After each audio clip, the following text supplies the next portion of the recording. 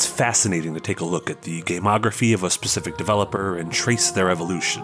Supergiant's growth from Bastion to Hades, or Naughty Dog's leap from Crash and Jak to Nate and Ellie, all tell a unique story, not just of their respective studios, but of the evolution of the medium as a whole. That was on my mind throughout my entire time with Sky Children of Light, the fourth game from developer That Game Company. From the microorganism toy box of Flow, to the Zen environmentalism of Flower, to the sheer awe of Journey, and now to the communal experience of Sky, it feels like that game company's resume charts the growth of indie games as a whole. But while their first three games excelled in their minimalism, Sky presents a bigger endeavor that directly acknowledges the line between art and commerce in fascinating and occasionally frustrating ways. But man oh man, am I glad that it exists, and given the fact that it recently passed the extraordinary 100 million download mark, clearly I'm not the only one.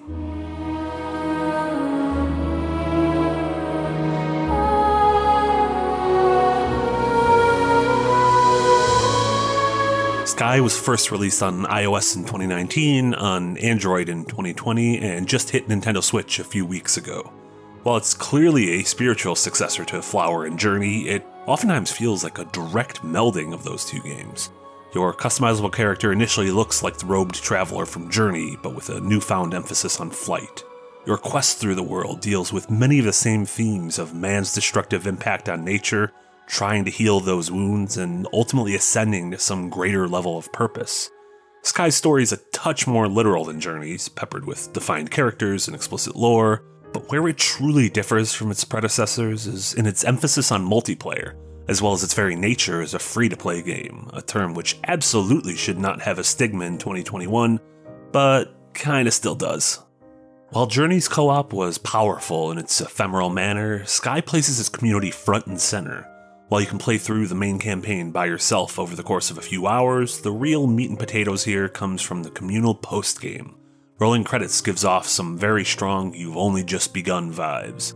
There's a heavy emphasis on unlocking and purchasing new cosmetics, strengthening your bond with strangers, and creating a web of relationships with the various spirits you meet along the way. These evolve over time thanks to the presence of in game seasons that introduce new content, the most recent one being a neat take on the iconic French novella The Little Prince. Stumbling upon a stranger while adventuring in the world and having them help you reach a new area or guide you towards a tucked away secret brings to mind some of my favorite moments in Journey. It's something that feels great when it happens to you, and even better when you go on and pass it forward. And while I won't spoil it here, experiencing Sky's incredible finale alongside two other strangers added an immense gravity to the beautiful events as they unfolded. But where Journey's multiplayer often makes you feel like two ships passing in the night, Sky wants you to legitimately form a bond with your fellow Children of Light through simple interactions that grow over time and via various in game currencies. It's like its own social network, but more along the lines of building a communal Zen garden and less like the hellscape of Twitter and Facebook. But while there's certainly nothing predatory about Sky's monetization, you can absolutely play through its wonderful story without spending a dime, its mere presence fundamentally changed my own personal experience with the game. Moments of complete awe lost a bit of their magic when I'd accidentally hit the start button and a menu would pop up offering me a set of in game candles for $4.99. Now, to be clear, I have absolutely nothing against free to play games. The success of games like Fortnite and Genshin Impact are truly remarkable, and I've probably logged more hours and spent more money in Pokemon Go than I have in any game over the past five years. By now, I've grown to expect these kinds of systems, currencies, and carrots on the stick from shooters and RPGs. But seeing them in what ostensibly feels like a sequel to Journey, a game I consider to be a genuine masterpiece, took me a while to get used to. And honestly, after all the time I've spent with Sky, I'm still not sure if I'll ever really get used to it. It feels a bit like losing yourself in the majesty and history of the Louvre, only to be interrupted by an announcement over a loudspeaker informing you that there's currently a sale going on in the gift shop.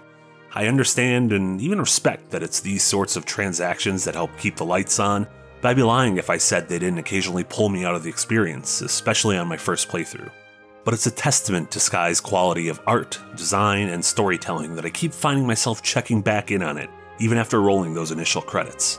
There's a special kind of comfort food energy that makes me want to keep coming back at a regular cadence, float through some of my daily errands, replay bits of its wonderful story, catch up with the strangers who became traveling pals, and see what new additions the latest season brought with it.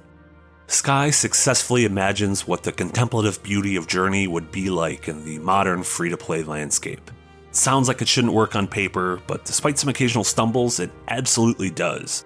If optional microtransactions and an emphasis on the mobile market is what it takes for that game company to continue to create resoundingly powerful experiences in 2021, then I'm all for Sky Children of Light.